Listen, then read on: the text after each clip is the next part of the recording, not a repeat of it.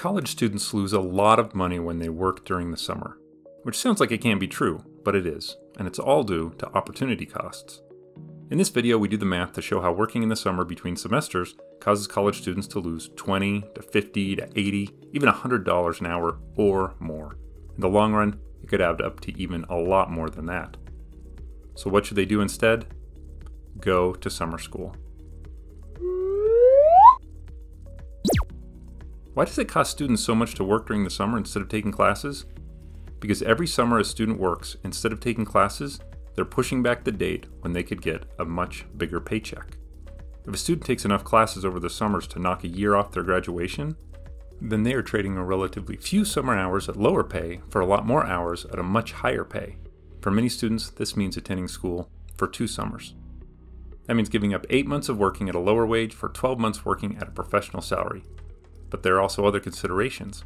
Getting into the job market earlier moves up your raises and allows you to start contributions towards retirement one year earlier, which makes a huge difference at the end of your career. The further out we go in time, the more our analysis relies on assumptions that might not be accurate, so we'll start short term and add in the long term, taking those results with a grain of salt.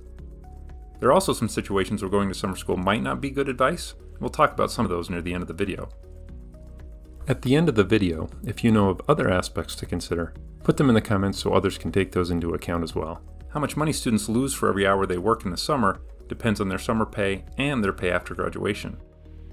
We will use a spreadsheet to help with the calculations and make it accessible. You can look for the link in the description, and you can change the numbers to fit your particular situation to see how much money you might be losing by working summers.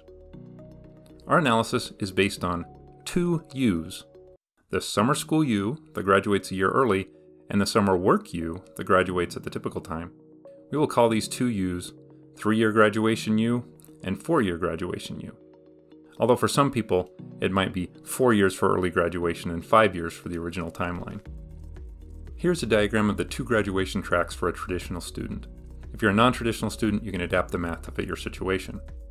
We will assume that during the regular school year, you're working the same hours at the same pay on either track.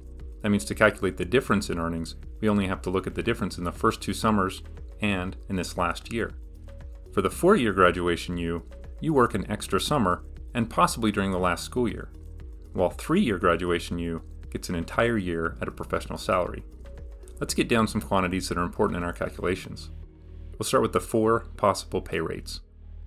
There's your summer hourly pay if you don't attend school, your summer hourly rate if you work while attending school, perhaps part time, your school year hourly rate, if you work during the school year, again, presumably part time, and your professional salary that you expect your first year in your profession. We also need the number of weekly hours for each of these, the number of hours you work each week in the summer if you don't go to school, the number of hours each week of summer work if you go to summer school, and the number of hours you work each week during the regular school year. Lastly, we need the number of weeks of work for these time periods, the summer and the regular school year. Let's say we have 14 weeks of work over the summer, which might be on the high end for some students, 15 weeks for each semester, or 30 weeks total over the regular school year. I picked values for these quantities and put them in the spreadsheet. Assuming you move home for the summer and work a higher paying job, I estimated $18 an hour working full time over the summer, so 40 hours a week, and $14 an hour for the part time job at 20 hours a week when you attend school during the regular school year or summer school. We will use these values to calculate the total earnings for each track, four years after starting school. The four year graduation U has three summers and one extra school year to earn money. The three year graduation U has some possible part time work in the summer while attending school, two summers worth, but also one full year of professional pay. Note that even if you plan on going graduate school after a four year degree, this is the first year pay for your profession getting out of school since we'll assume the cost, earnings, and time for graduate school are the same for either track. I'll pick $60,000 now for your first year professional salary, and we can adjust it later. We also need to calculate the four year graduation use earnings in your senior year, which we do here. Next, to calculate the hourly rate at which the four year track is losing money while working instead of going to summer school, we take the difference in earnings for the first two summers and divide it by the difference in all those summer work hours we get $52 an hour. Now, this will change as we change different values. If you don't or can't work 20 hours a week during summer school, but only $10 a week, then it drops to $35 an hour. For the rest of the video, we'll stick with 15 hours per week when you're working part time. At 15 hours a week, then the value raises to $42 an hour.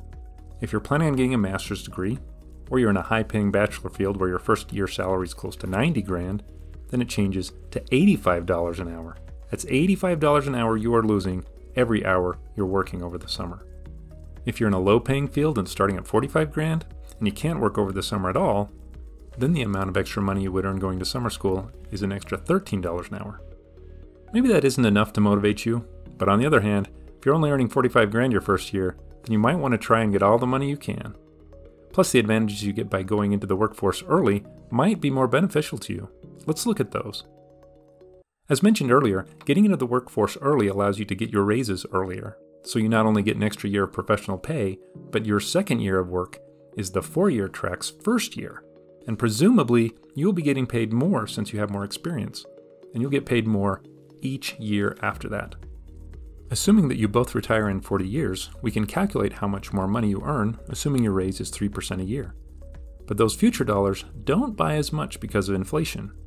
We could do a careful analysis to account for inflation, since the extra money a few years down the road hasn't lost much value, but way down the road it has lost a lot of value. To simplify this, we will instead just take the total difference and cut it in half.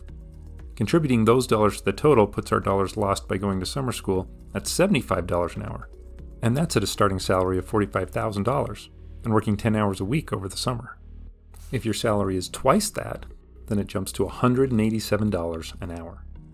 Let's look at $60,000 for a beginning salary and 15 hours a week and use those values for the rest of the video so we have more typical values. Those values give us $135 an hour that we're losing each hour we work over the summer. Now, what about investing for retirement? If you start investing one year earlier toward retirement, that can make a huge impact on the amount you have to live off of in retirement.